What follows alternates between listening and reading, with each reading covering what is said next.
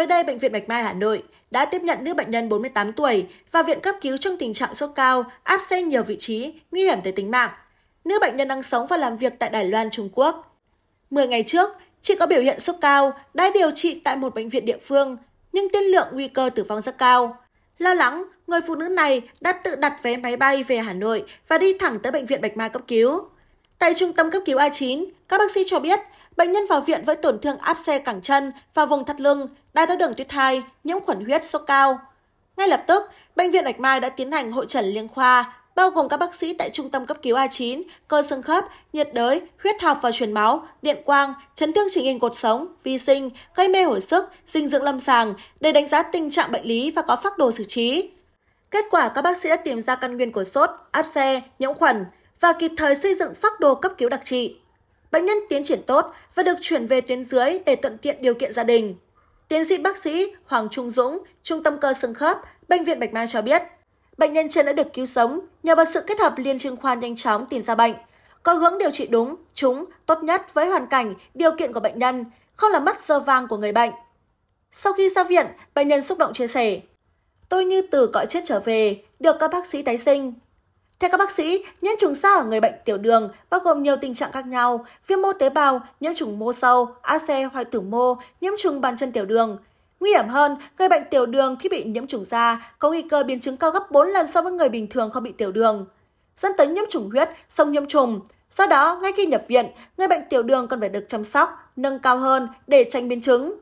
Người bệnh tiểu đường sẽ bị nhiễm trùng do đường huyết tăng cao, tạo môi trường thuận lợi cho vi khuẩn phát triển, làm chậm quá trình làm lành vết thương.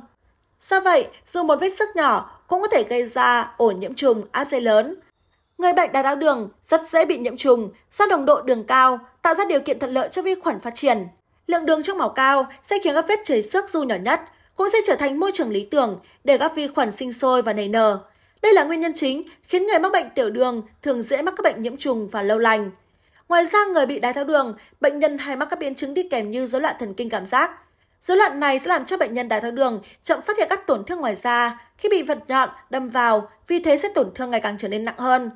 Thêm vào nữa, bệnh nhân đái tháo đường thường bị tổn thương sơ vỡ động mạch máu ngoại biên, làm giảm lưu lượng máu đến các chi, nên làm giảm dinh dưỡng nuôi các mô, cung cấp oxy và khả năng gắn kết phản ứng miễn dịch về hiệu quả. Sự kết hợp của nhiều yếu tố này sẽ khiến cho bệnh nhân đái tháo đường luôn tiềm ẩn nguy cơ cao trong việc mắc phải những bệnh lý nhiễm trùng.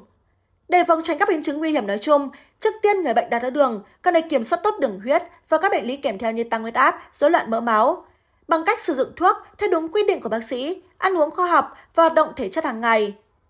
Riêng đối với biến chứng nhiễm trùng của người bệnh đái tháo đường, cần phải lưu ý một số vấn đề như sau. Vệ sinh răng miệng đúng cách, dùng các loại bàn chải mềm, chải răng thường xuyên và tránh gây tổn thương trong khoang miệng. Luôn trang bị khẩu trang khi đi ra ngoài đường, Sử dụng những loại quần áo, vớ, nón vải mềm với chất liệu thấm hút mồ hôi. Vệ sinh đường tiểu tốt, đặc biệt là đối với phụ nữ, giảm thiểu khả năng bị nhiễm trùng đường tiết niệu. Thực hiện bằng cách giữ vệ sinh sạch sẽ, rửa vùng kín sạch sẽ sau khi quan hệ tình dục, không nhịn tiểu và cần phải uống nhiều nước. Nhiễm nấm đường sinh dục thường có thể tránh được bằng cách vệ sinh âm đạo tốt. Ngoài ra, ăn những loại thực phẩm có lợi, chẳng hạn như sữa chua chứa vi khuẩn axit, có thể hữu ích để ngăn ngừa nhiễm trùng nấm men. Để phòng ngừa nhiễm trùng da, người bệnh luôn cần phải vệ sinh sạch sẽ, không được tắm nước quá nóng và dùng sập phòng để giữ ẩm nhẹ nhàng. Cần phải giữ da khô ráo. Bên cạnh đó, những vùng da hay cọ sát vào nhau như nách, bẹn, cái ngón tay, ngón chân. Cần phải cắt móng chân, móng tay thường xuyên. Với các vết thương, cần để rửa sạch bằng nước hoặc bằng cồn và băng những vết thương da, rách da ngay khi mới phát hiện. Ngay khi có những triệu chứng bất thường, cần để liên hệ ngay với bác sĩ điều trị hoặc tới cơ sở y tế gần nhất để được thăm khám, điều trị kịp thời, tránh những biến chứng nguy hiểm có thể xảy ra. thank you